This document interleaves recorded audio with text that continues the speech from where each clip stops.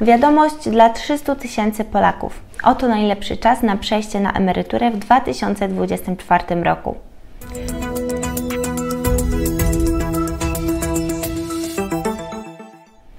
W przyszłym roku około 300 tysięcy Polaków będzie mogło przejść na emeryturę. Decyzja o tym, w jakim terminie złożyć wniosek emerytalny w ZUS-ie jest bardzo ważna. To od niej zależy wysokość przyszłego świadczenia. Najkorzystniejsze terminy rozpoczęcia emerytury w 2024 roku to najprawdopodobniej styczeń lub przełom stycznia i lutego. Spowodowane jest to gwarantowaną podwyżką emerytur od 1 marca. Zgodnie z prognozami rządu, waloryzacja emerytur i rent ma wynieść ponad 12%. Jak się okazuje, ma być to ostatnia taka waloryzacja, a w przyszłości podwyżki dla seniorów będą już jednocyfrowe. To nie jedyny powód, dla którego złożenie wniosku do ZUS-u w tym terminie opłaci się nowym emerytom.